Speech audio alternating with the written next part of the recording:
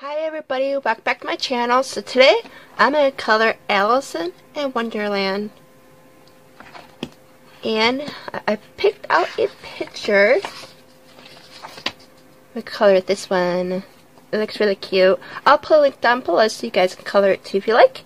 So yeah, I got this from Ollie's. Was the price was originally fifteen dollars, but they marked down to two books.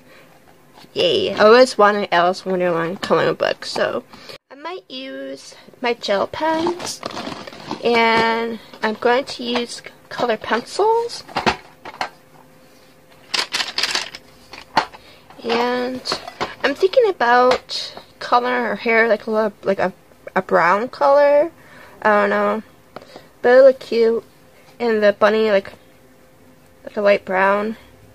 Her dress, I might think about coloring her dress like a mm, maybe like a a pretty green or like a light like a blue. I'm not too sure. But yeah.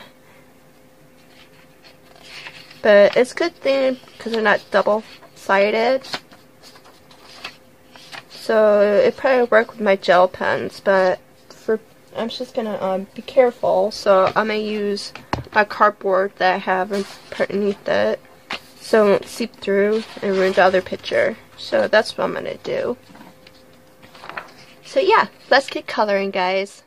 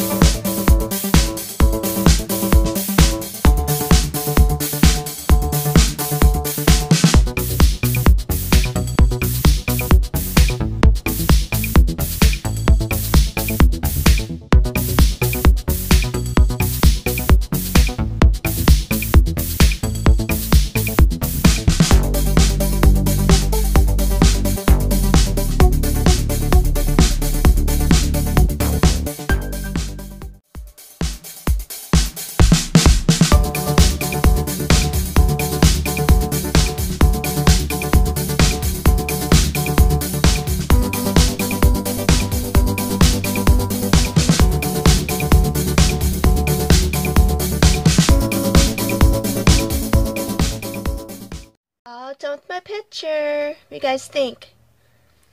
I think it looks pretty good. Put use a little bit of gel pens for the hair, a little bit of gel pens for the dress, and the clock, and the eyes. I hope you guys enjoyed my video, and I hope everybody has a great day. And remember, always be kind. Bye bye.